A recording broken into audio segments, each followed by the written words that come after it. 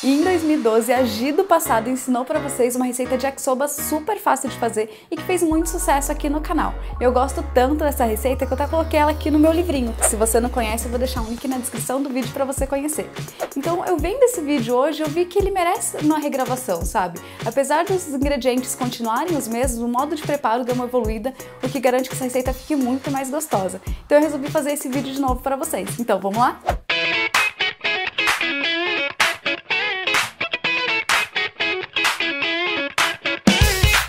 Bom, diferente de receitas de massa, de macarrão que a gente costuma fazer, que a gente costuma cozinhar o macarrão primeiro, o yakisoba eu recomendo você começar pelo molho, porque o macarrão de yakisoba, se você não sabe, ele é pré-frito. Então, se você passar o tempo de cozimento, ele vai virar uma gosma e não vai ficar legal. Então, começa primeiro pelo molho, porque eu acho que esse que é o segredo para um yakisoba perfeito. E aí eu vou começar aqui fazendo primeiro o frango. Eu vou dourar o frango com um pouco de azeite, e o frango eu temperei ele com um pouquinho de sal e pimenta. Apesar do shoyu ter sal, o frango ele não pega tanto sabor quanto a carne. Então eu prefiro temperar ele antes. E a gente vai, ter, vai fritar até ele ficar bem douradinho. E aí depois a gente tira e frita a carne também.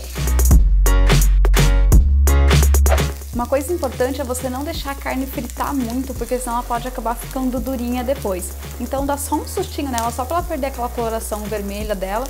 E aí a gente já volta de novo o frango aqui para a panela. A gente vai colocar o alho picadinho.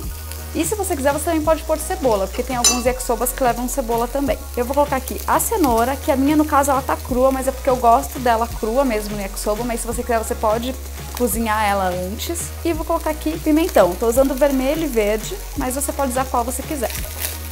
Aí agora eu vou colocar aqui o óleo de gergelim torrado, que eu acho muito importante para dar o sabor assim de yakisoba. Você encontra hoje tipo super fácil em qualquer mercado e é uma coisa muito boa para você ter em casa. Qualquer franguinho assim sem graça vira uma refeição deliciosa com esse olhinho de gergelim. E agora eu vou colocar aqui o shoyu.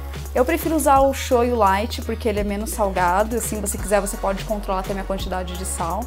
Mas assim, não tem uma marca que eu goste mais, eu acho que aí vai de você escolher uma marca que você goste. Porque teve bastante gente que me perguntou de indicação e tal.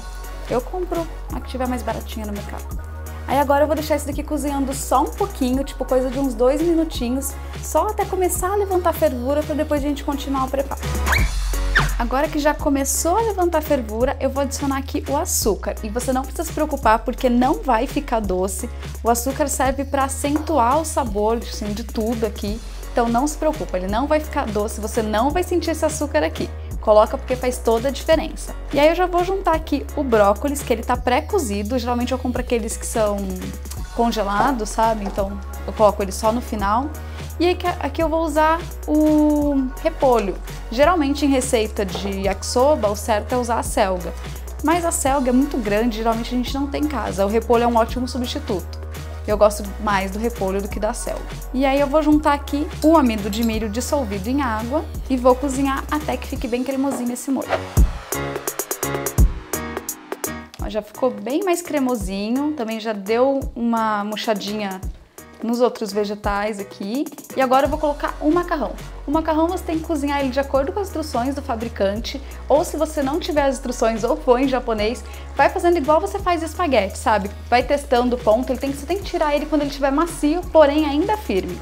E aí, se você quiser, você pode passar em água fria, mas eu prefiro colocar aqui direto porque eu acho que o molho gruda bem mais. E aí é só a gente misturar isso daqui tudo muito bem. E se você não tiver macarrão de yakisoba, dá pra fazer com espaguete, com talharim, faz com o macarrão que você tiver em casa, vai ficar bem gostoso também. E agora é só a gente misturar isso daqui tudo muito bem, finalizar com uma cebolinha e aproveitar.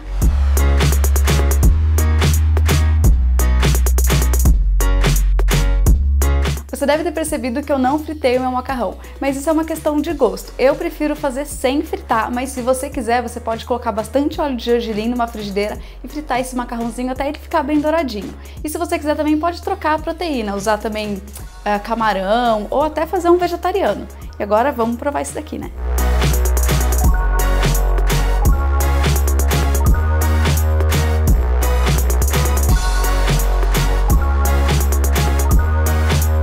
Sério. É super fácil de fazer, é muito rápido de fazer e fica bem melhor que aquele que você compra de caixinha. Faz em casa e me conta o que achou.